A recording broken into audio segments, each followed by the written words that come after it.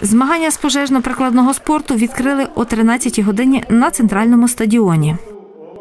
Ви бачите, що вже розпочалася естафета 4 по 100.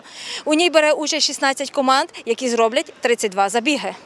Естафета передбачає, що учасники долають чотири етапи по 100 метрів з перешкодами, передаючи один одному пожежний ствол. На першій 100-метрівці перешкода будинок.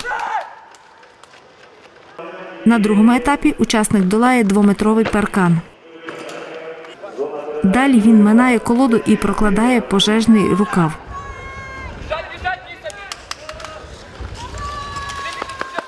У нашої команди ну, сталася невдача на третьому етапі. Не підхватив учасник рукав і час не той, на який ми сподівалися. На останньому етапі учасники гасять полум'я.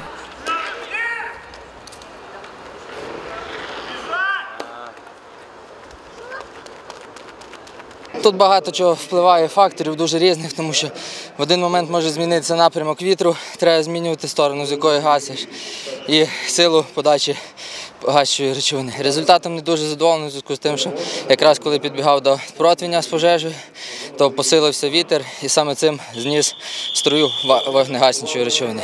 Перше місце в естафеті здобула збірна команда з Києва. Друге дісталося рятувальникам Волинської області. Та третє виборола команда Черкаського інституту пожежної безпеки імені Героїв Чорнобиля. Світлана Лазорик, Андрій Бодак. Новини.